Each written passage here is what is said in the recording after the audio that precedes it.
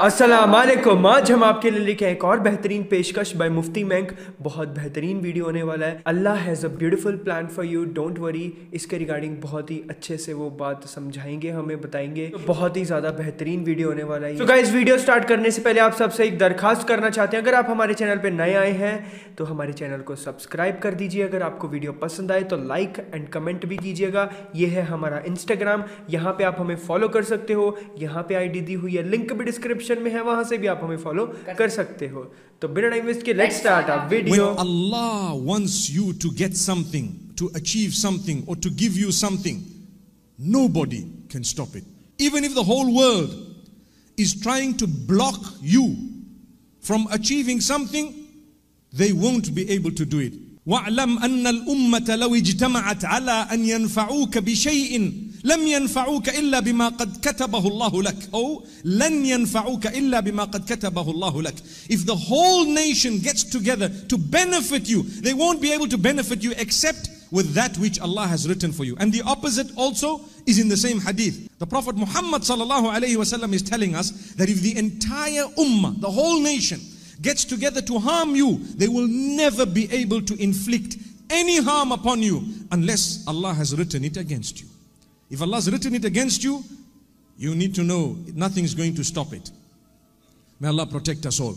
Look at this man, young baby, born, Fir'aun, looking, searching. His men were everywhere. They were spies all over. They didn't hear, they didn't witness, they didn't see. And Allah subhanahu wa ta'ala inspired his mother to do something unique, to put him into a little casket or a basket and to put him or literally to cast him into the Nile, into the river. Cast him into the river. How can I do that? Don't worry. The one who made him will look after him. Subhanallah. The one who made him will look after him.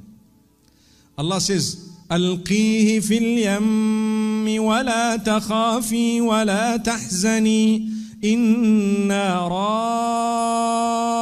رادوه إليك وجاعلوه من المرسلين Instruction from Allah subhanahu wa ta'ala. Inspiration from Allah subhanahu wa ta'ala. Take him and place him in the water, in the river. Allah will return him to you. Allah says, We will return him to you. Subhanallah. And we will make him from amongst those who is sent. We will make him a messenger. He's going to have something big. Subhanallah. And what happened? Allah did not bless the Pharaoh with children. They were looking for this male child. And the wife, as she was walking, she notices this little casket and she picks up this baby. And the baby was absolutely gorgeous, absolutely innocent, totally. And cut a long story short, they looked after Musa alayhi salatu wasalam until he grew quite old. He was not suckling from anyone because that was the plan of Allah. And they were desperate to get him to suckle because he needed to survive until, subhanallah, subhanallah, amazingly, Allah returned the baby as a baby, as an infant to the mother. He would be brought in the highest form of luxury. He would be brought to the mother. The mother would suckle, spend some time, etc., etc., look after him, breastfeed him, whatever else, and send him back. And he suckled from no one else. This is the power of Allah. Never underestimate the power of Allah subhanahu wa ta'ala. When He wants to give you, He will give you. Pray to Him. Pray hard. Pray with conviction. When the time is right, what you want will come to you. Remember that. If it is good for you, and if Allah, if it is meant for you, it's in coming in your direction. If it is not, no matter what, it won't. So Allah subhanahu wa ta'ala says, فرددناه إلى أمه كي تقر عينها ولا تحزن We returned him to his mother in order for her eyes to be cooled and for that and for her not to be saddened. She was a good woman. She was close to Allah subhanahu wa ta'ala. She was chosen to be the mother of a messenger of Allah subhanahu wa ta'ala. Imagine what qualities she had. I always tell the sisters and even the brothers that if you want a child who's going to be someone serving the deen, ask yourself, who am I to start with? Who am I to start with? If I'm a person who wants to follow the trends of today and I have my little heels and my makeup and my miniskirt and I'm walking around with a little handbag, throwing things behind my back like this, do you want a child who's going to really be some form of you know, service to the deen. The same applies to the brothers. Every night you're in the club, you know, jumping and dancing and drinking and everything else and womanizing and all of those nature of, of things, you know, that type of thing. And then you say, Oh Allah, make my child a big, you know, sheikh who's going to be spreading the deen. Subhanallah. Subhanallah. Your sheikh is in the nightclub. That's what it is. And you want your child to be the sheikh spreading the deen. You know Allah can do it. But you need to repent. You need to turn back. It's never too late. My brothers and sisters, we turn to Allah. We turn to Allah subhanahu wa ta'ala. It's not too late. We're breathing. Take a look at the world. Learn by looking at the globe. Watch the people. See the most content people are not those who run behind materialistic items. Remember that. Wallahi, I promise you. Yes, you might look at glamour, you might look at popularity, you might look at someone who the world looks at as, wow, a superhero, someone who's a movie star. In real life, they are depressed, they are struggling, they have addiction sometimes to various things, even drugs. They suffer with problems, they are bipolar. Look at so many of these pop stars popping one after the other, pop, pop, pop, pop. Have you seen that? That's why they're called pop stars. May Allah subhanahu wa ta'ala help us. My brothers and sisters, we need to serve the ummah. We need to have a concern for the next generations. We need to serve Allah so that at least in our progeny, when they watch us, do you know the most powerful way of relaying the message is for them to follow by example. When you are fulfilling salah, when you dress in a specific way, your child who cannot yet speak in your language, who cannot yet communicate properly in your own system, will fight to dress the way you dress. Just because that is the plan of Allah subhanahu wa ta'ala. If you fulfill your salah constantly, your child will be found in sujood before they can even walk. Do you know that? Why? Did you talk to them? No. It was Allah's way of telling you, look, if you are good, inshallah, by the will of Allah, they will have a good upbringing. What they do beyond a certain age becomes between them and Allah.